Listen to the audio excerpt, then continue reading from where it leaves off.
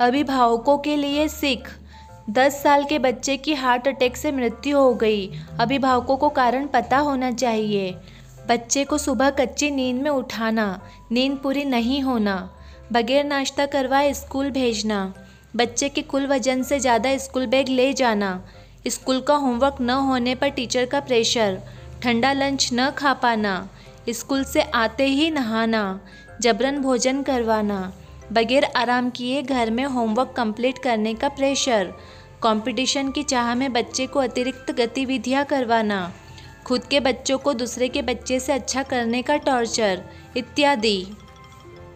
अभिभावकों से मैं पूछना चाहती हूँ कि चार से छः वर्ष के बच्चे को अभी से डॉक्टर इंजीनियर एसपी कलेक्टर बना देंगे? आप खुद सोच के देखो, आप कितने पढ़े लिखे हैं और आपने स्कूल जाना कब शुरू किया था? आप उस मासूम बच्चे की जान के पीछे क्यों पड़े हैं? केवल एक दूसरे की होड़ में बच्चों का बचपन मार रहे हैं। आप जवान हैं तो सुबह पाँच बजे उठकर ढाई बजे तक रेगुलर काम करके दिखाएँ और फिर भोजन करके वापस काम करके दिखाएँ। तो फिर छोटे से मासूम बच्चों के साथ हम ऐसा कैसे कर सकते हैं? अपने दिल पर हाथ रखकर विचार करिए, आप एक मासूम के साथ कितना अन्याय कर रहे हैं। हम बच्चों का बचपन और उनकी स्वाभाविक विकास प्रति से उन्हें वंचित कर रहे हैं। प्रिय अभिभावकों से निवेदन है कि इन मासूम बच्चों पर दया करें, आराम और खेलने का पर्याप्त समय दें।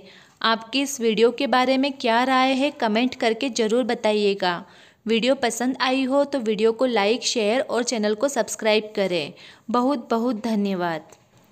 और प्लीज़ पास में बने हुए बेल आइकन के बटन को क्लिक कर दीजिए ताकि आपको इसी तरह की वीडियो की नोटिफिकेशन सबसे पहले मिल सके और आप टाइम से वीडियो को वॉच कर सके।